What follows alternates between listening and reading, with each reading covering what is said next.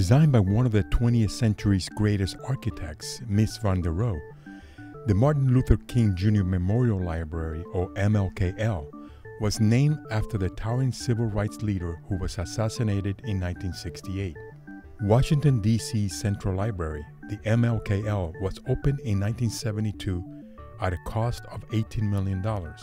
40 years of deferred facility maintenance prompted its renovation, and the $211 million rehabilitation of the landmark structure was performed by Mecanoo with OTJ Architects. OVS developed the project's landscape.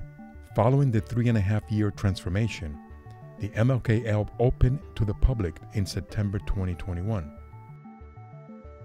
The introduction of organic surfaces and softer lines is a strong contrast to Mies' strict hard surface rectilinearity, but it creates synergy, not opposition, with the original building.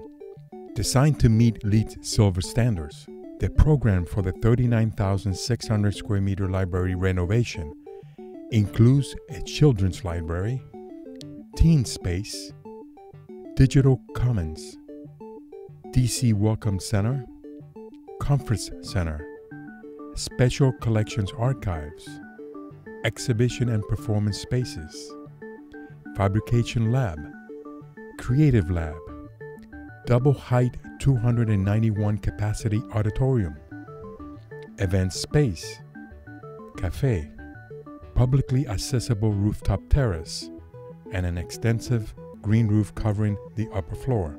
The curvature of the new rooftop pavilion was informed by required setbacks that make it practically invisible from the street level.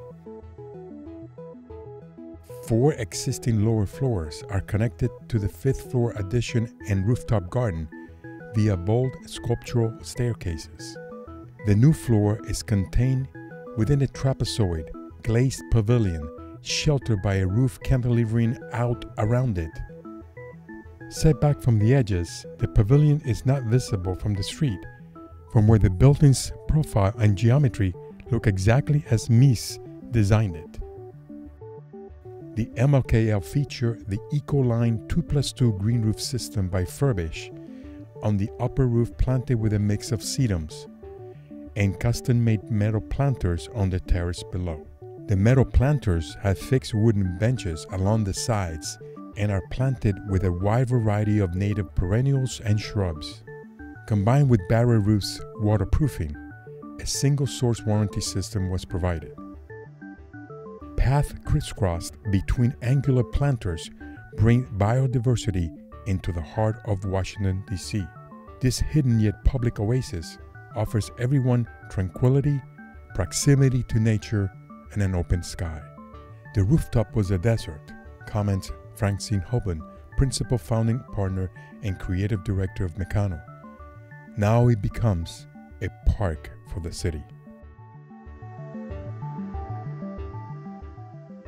For more information about this project and many more, explore the International Green Roof and Green Wall Projects database at greenroofs.com and join our mailing list so you don't miss out on any of the Green Roof and Green Wall news and upcoming projects of the week.